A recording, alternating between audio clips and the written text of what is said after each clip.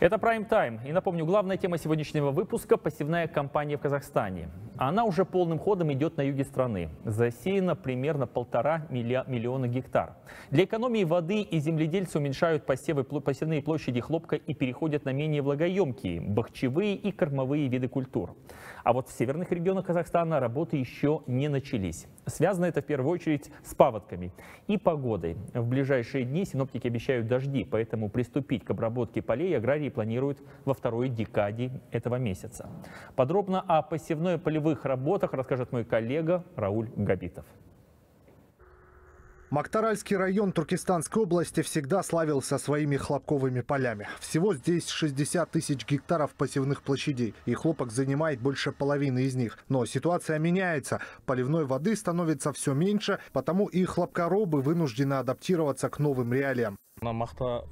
Цены на хлопок сильно упали, а эта культура требует больших расходов. В прошлом сезоне мы с трудом покрыли свои вложения, поэтому переходим на бахчевые, овощи и люцерну. Тем более воды не хватает.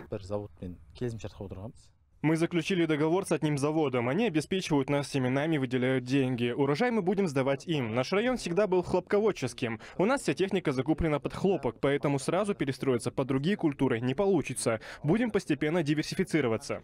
Всего по стране хлопчатник сократят на 16 тысяч гектаров. Меньше внимания уделят и пшенице. В приоритете сейчас масличные и кормовые культуры. Их посевы планируют увеличить на 400 тысяч гектаров.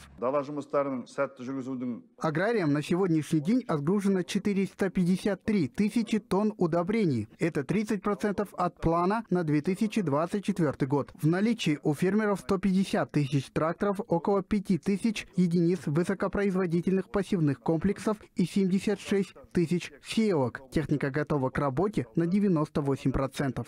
Успех фермера складывается из нескольких факторов. От погоды до наличия поливной воды. А еще важно соблюсти все агротехнологии. И тут важно, чтобы были деньги. Но прошлый сезон выдался не совсем богатым на урожай. Потому финансовое положение у многих казахстанских аграриев сложное. Это стало поводом для запуска новой программы по выдаче льготных агрокредитов под 5%.